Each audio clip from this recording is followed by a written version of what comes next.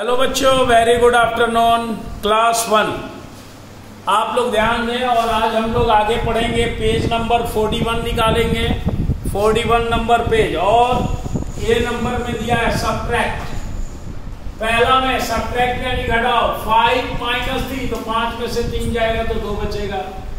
तीन में से एक जाएगा तो क्या बचेगा? भैया, तीन उंगली करके एक उंगली तोड़ दो. दो बच गया.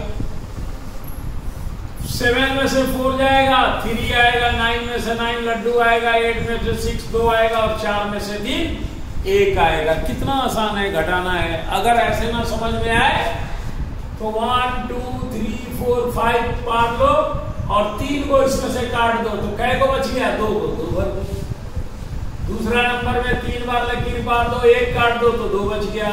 One two three four five six seven चार को काट दो। कितना बचा? तो तीन भर देंगे नाइन में नाइन बार करेंगे। नौ हो गया, नौ बार काट दो। नौ बार काटेंगे तो ये सारा कट जाएगा। तो क्या बचा? लड्डू बचा। एट एक, दो, तीन, चार, पाँच, छह, सात, आठ सिक्स एक, दो, तीन, चार, पाँच छ काटेंगे तो दो बचा।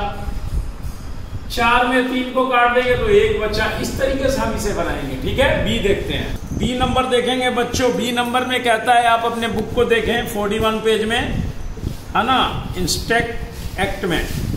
बी में कहता है put a tick right against correct subtraction and a cross cross against incorrect subtraction यानी राइट अगर सब्ट्रैक्शन है तो उसमें राइट का चिन्ह गलत में गलत है।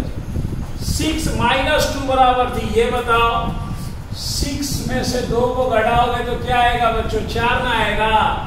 तीन नहीं आएगा तो गलत। अब इसमें कहता है सेवन माइनस सेवन क्या आएगा? ज़ीरो तो ज़ीरो है तो राइट इसमें कहता है फोर माइनस वन इसका टू कितना आएगा? थ्री आएगा तो थ्री दिया है राइट हो गया।